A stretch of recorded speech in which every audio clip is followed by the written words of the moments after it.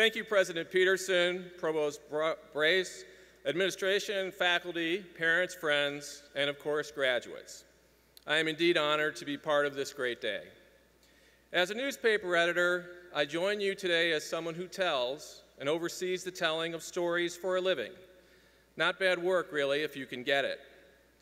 In my work, I have the privilege of sharing with people the most important stories of our time from a national and local perspective. And hopefully with urgency, insight, and depth in an age when all of us have almost instant access to those stories as they happen. In fact, I expect and I'm looking forward to some of the graduates here today inventing technologies that improve and make easier our storytelling. The Atlanta Journal-Constitution is engaged with Georgia Tech researchers even today in hopes of inventing better tools to tell stories. We're in an age where people, more people crave more information than ever before. The stories we all hear and tell have never been more important, but more about that later. I'm also optimistic that some of you will go forth and create new business models for this particular storytelling business I'm in, newspapering that is. We could sure use a few new business models. But I hope you'll indulge me for a bit as I talk about storytelling and connected to this most important day. Nothing is more important to a culture, a family, a company, and even a university than the stories people tell about it. Though they may be a tweet or a comment on Facebook or a video on our phone, we are defined by the stories we tell, whether they are funny, sad, inspiring, or emotional. And in an age of massive amounts of stories and information, the things we tell our stories about, a difficult class, a hilarious fraternity brother, or an epic road trip, a vital story in anyone's repertoire, those stories have never been a stronger signal of what's important to us, what shapes us, and what we value. This very day will become a story many of you tell, and that story will ingrain your memory of the day, and it will remind you of how you felt about it. And your story will contribute to the culture of Georgia Tech and how graduates feel about this important place. And based on my experience, your graduation stories won't include what the speaker had to say. I'm fine with that. And so today, I urge you to tend to your own vital story. That story that will become the tale of your life. There is no more important story, no story that you are more obliged to author with care. As an editor, I'm compelled to offer a little guidance in writing that story. First, let me acknowledge that your story appears to be off to a good start. As you know, precious few students make it into Georgia Tech, and even fewer make it out. You've certainly authored a couple of impressive early chapters in your story, including the ones that led to this Georgia Tech chapter. Congratulations. And the characters in your story have no doubt been a good group as well. Certainly, there seem to be a lot of characters here today, as I have been warned. And I hope you'll take a look around. The characters you've spent these years at Tech with shaped your story and contributed vital parts to it. And as any writer knows, good characters, those with personalities that you love and with emotions with which you connect, well, they're hard to find. Nice work finding so many characters. In fact, perfect ones for your story so far.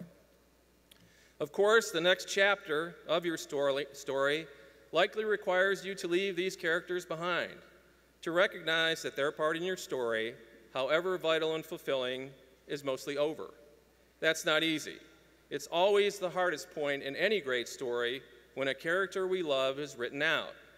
I know I'm still not over the part where Bambi's mom dies in the famous Disney movie. I bet you aren't either. But don't worry, other characters will arrive in your story, whether you're ready for them or not.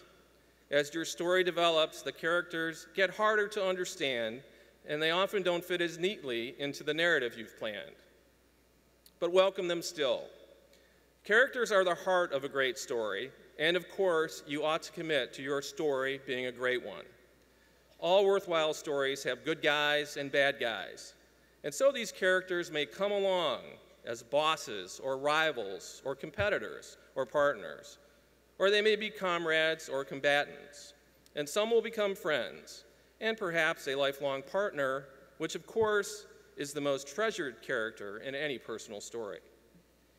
Each character, as we know, shapes the story somehow and changes the course of its plot.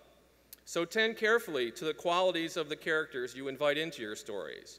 At times, you'll have little choice but to put your story in their hands. It's your story, after all, and you don't want them running it off somewhere it doesn't belong. Because there are stories that get you on the evening news or in the newspaper with an unflattering picture.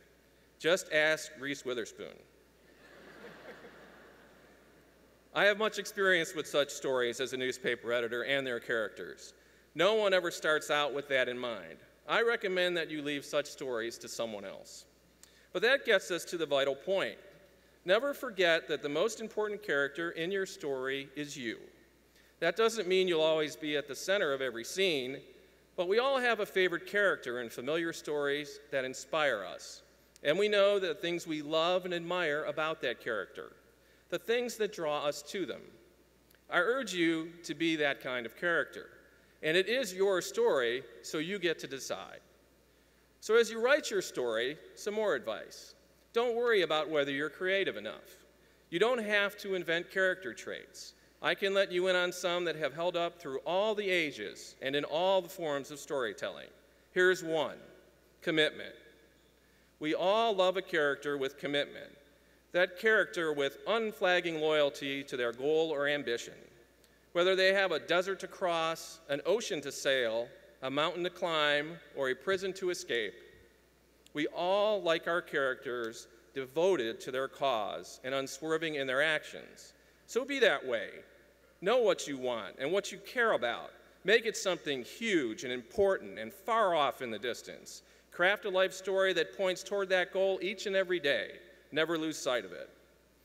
And remember that great characters in great stories whether Ulysses or James Bond, use tools and technology. But despite all you may have learned about those things at Georgia Tech, that's not what really guides them. Instead, our, her our heroes are guided by their integrity. For in all great stories, it's not just what our hero does, it is how he or she does it. We demand that they do it with grace and style, of course, but mostly we want them to do it with integrity. They do the right thing, even when they think no one is watching, because someone always is. Our heroes listen to that little voice in their head. It tells them what the right thing to do is. The best and enduring characters always act with integrity. From the Bible to Huckleberry Finn, from soap operas to reality shows, integrity remains the most crucial yet scarcest of qualities. So, when in doubt, when your plot lines thicken and get confusing, when your characters in your story seem to have drifted from their moorings, when the outcome of your story suddenly seems threatened, make sure you're the character whose actions are guided by integrity.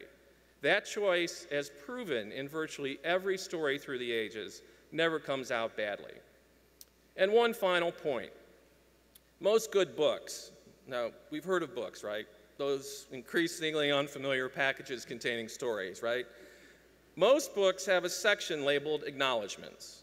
Most of us are trained to skip that part in our rush to read, and I'm not even sure that ebooks or iBooks even include those sections.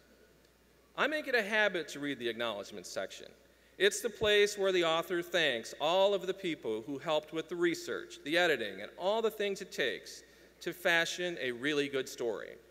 Today, I urge you to begin authoring that acknowledgments section of your story. Take a moment to thank all of the people who've helped you to the stage today. No character journeys through their story alone. Most all heroes have someone who helps them up when they stumble. The best notice and appreciate it. Today's a good day to start being that kind of character. Thank you for your attention. Congratulations and good luck. Good luck with your story. I'll be looking forward to hearing them, reading them, seeing them, or experiencing them on whatever technologies come along. Thank you.